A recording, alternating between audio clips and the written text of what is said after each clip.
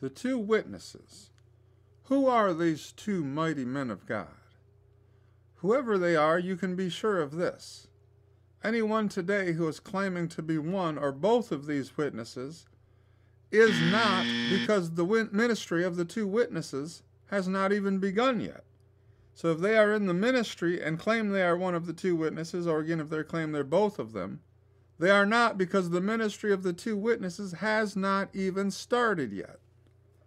We'll be reading Revelation chapters 10 and 11. Verse 1 And I saw another mighty angel come down from heaven, clothed with a cloud and a rainbow was upon his head, and his face was as it were the sun, and his feet as pillars of fire. And he had in his hand a little book open, and he set his right foot upon the sea and his left foot on the earth, and cried with a loud voice as when a lion roareth. And when he had cried, seven thunders uttered their voices. And when the seven thunders had uttered their voices, I was about to write. And I heard a voice from heaven saying unto me, Seal up those things which the seven thunders uttered, and write them not. So, scripturally speaking, a thunder is new spiritual truth never revealed before until it is revealed. And in the demons and the devil, it is scary like a big loud thunder. Verse 5 and the angel which I saw stand upon the sea and upon the earth lifted up his hand to heaven, and sware by him that liveth for ever and ever, who created heaven and the things that therein are, and the earth and the things that therein are, and the sea and the things which are therein, that there should be time no longer. Or, better translation, no more delay. Verse 7 But in the days of the voice of the seventh angel, when he shall begin to sound, the mystery of God should be finished, as he hath declared to his servants the prophets. Now, in verse 7, there's the principle of duality, because this word translated angel means messenger. It's translated messenger when it's talking about John the Baptist, and it's translated angel when talking about a spirit composed angel, but it simply means a messenger. So, when individuals read verse 7, they think the seventh spirit composed angel who has the seventh trumpet at the second coming of Christ, when that's blown, then the seven last plagues are poured out. Now that's true, but the seventh angel or messenger would be the men God has over his final era of the church. And they're the seventh angel or messenger, and they lift their voice up as a trumpet and sound it for three and a half years before the seventh spirit composed angel blows his trumpet at the second coming of Christ. Verse 8 And the voice which I heard from heaven spake unto me again, and said, Go, and take the little book which is open in the hand of the angel, which standeth upon the sea and upon the earth. And I went unto the angel, and said unto him, Give me the little book. And he said unto me, Take it, and eat it up. It shall make thy belly bitter, but it shall be in thy mouth sweet as honey. And I took the little book out of the angel's hand and ate it up. And it was in my mouth sweet as honey, and as soon as I had eaten it, my belly was bitter. And he said unto me, Thou must prophesy again before many peoples, nations, tongues, and kings. So, whatever these seven thunders are, like the two witnesses' ministry, they have not yet been revealed. So anyone claiming that a book they wrote is the Seven Thunders or whatever, that's not necessarily true because the Seven Thunders have not yet been revealed because these seven thunders are what the two ministry or to the ministry of the two witnesses are based on is these thunders.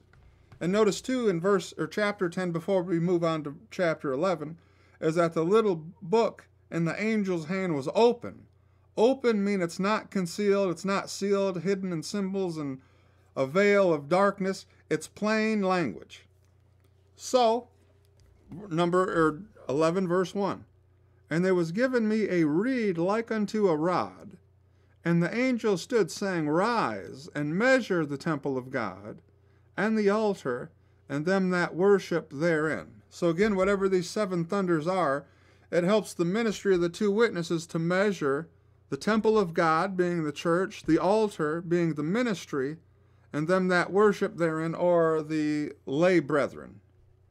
Verse 2 But the court which is without the temple, leave out and measure it not, for it is given unto the Gentiles, and the holy city shall they tread under foot forty and two months. Verse 3 And I will give power unto my two witnesses, and they shall prophesy a thousand two hundred and threescore days, clothed in sackcloth. Sackcloth denotes repentance. The ministry of the two witnesses is repent because the Lord Jesus is returning soon. These are the two olive trees and the two candlesticks, better translation, lampstands, standing before the God of the earth. And if any man will hurt them, fire proceedeth out of their mouth and devoureth their enemies. And if any man will hurt them, he must in this manner be killed. These have power to shut heaven, that it rain not in the days of their prophecy, and have power over waters to turn them to blood, and to smite the earth with all plagues as often as they will. And when they shall have finished their testimony, the beast that ascendeth out of the bottomless pit shall make war against them, and shall overcome them and kill them.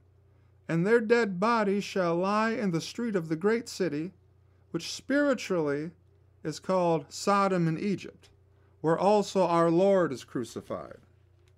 And when you let Jeremiah 23:14 interpret it, Jerusalem is spiritual Sodom and Gomorrah, where the two witnesses' ministry takes place in Jerusalem. Verse 9 And they of the people and kindreds and tongues and nations shall see their dead bodies three days and a half, and shall not suffer or allow their dead bodies to be put in graves. And they that dwell upon the earth shall rejoice over them, and make merry, and shall send gifts one to another, because these two prophets Notice it says prophets, not prophetesses. So these are two men. Two prophets, these two prophets tormented them that dwelt on the earth. Tormented them by speaking the truth. Verse 11. And after three days and a half, notice the time. It isn't three days, it's three and a half days. Because if it was three days, that's the only sign of the Messiah. So that's why it's three and a half days the Spirit of life from God entered into them, and they stood upon their feet. And great fear fell upon them which saw them. And they heard a great voice from heaven saying unto them, Come up hither. And they ascended up to heaven in a cloud, and their enemies beheld them. And the same hour there was a great earthquake, and the tenth part of the city fell, and in the earthquake were slain of men seven thousand. And the remnant were affrighted, and gave glory to the God of heaven. The second woe is past, and behold, the third woe cometh quickly. 15.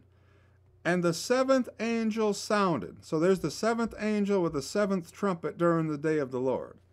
And there were great voices in heaven saying, The kingdoms of this world are become the kingdoms of our Lord and of his Christ, and he shall reign for ever and ever. So you notice at the completion of the two witnesses' ministry, the seventh trumpet angel blows at the second coming of Jesus Christ.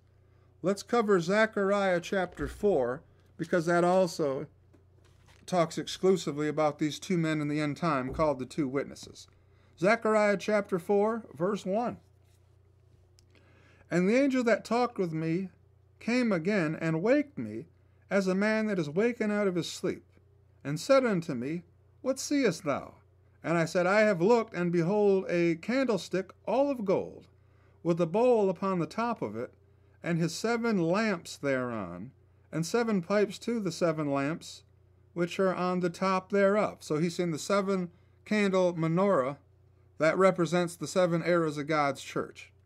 Verse 3 And two olive trees by it, one on the right side of the bowl, and the other on the left side thereof. So I answered and spake to the angel that talked with me, saying, What are these, my lord? Then the angel that talked with me answered and said unto me, Knowest thou not what these be? And I said, No, my lord. Then he answered and spake unto me, saying, This is the word of the Lord unto Zerubbabel, saying, Not by might nor by power, but by my spirit, saith the Lord of hosts. Who art thou, O great mountain? Before Zerubbabel thou shalt become a plain. And he shall bring forth the headstone thereof with shoutings, crying, Grace, grace unto it. Moreover, the word of the Lord came unto me, saying, The hands of Zerubbabel have laid the foundation of this house, his hands shall also finish it. And thou shalt know that the Lord of hosts hath sent me unto you. For who hath despised the day of small things? For they shall rejoice, and shall see the plummet in the hand of Zerubbabel with those seven. They are the eyes of the Lord that run to and fro through the whole earth. In the book of Revelation, Jesus is pictured as a lamb with seven horns and seven eyes. Each horn, wrote one for each era of the church, and each eye is an eye over each church era. Also, verse 10 mentioned a plummet. A plummet is a measuring device that measures whether a thing is plumb or not. Plumb means it's horizontally level as well as vertically level. And recall in chapter 10 of Revelation, when the two witnesses consumed, ate the little book, then they were properly given the measuring stick in verse 1 of chapter 11, and now they could properly measure God's church. Same here with the plummet. Verse 11 Then answered I and said unto him, What are these two olive trees upon the right side of the candlestick, and upon the left side thereof? And I answered again and said unto him, What be these two olive branches which through the two golden pipes empty the golden oil out of themselves? And he said unto me, Knowest thou not what these be? And I said, No, my Lord. Then he said, These are the two anointed ones that stand by the Lord of the whole earth. Because at the time of the ministry of the two witnesses, they're the only two men on earth standing for the Lord, and everyone else is getting destroyed by the beast that sits in the temple claiming he's God for the final three and a half years of the seven year period. So these two men, we don't know who they are. We will know who they are when they come on the scene, but you'll know these men not by what they look like, not by their type of personality or what affiliation they have with such and such denomination. You'll know them because they proclaim the word of God boldly and they don't compromise and they will not back down. They have the anointing on them. They, uh, the scripture says how they, they pour out the golden oil on themselves. They're the olive trees. Olive trees exude oil that in the Bible represents the anointing the Spirit of God on them. So these two anointed men, their ministry has not yet happened, but you can be sure of this when there's a man in Jerusalem sitting in the third temple claiming he's God, and you see two other men opposing him, those are the two witnesses.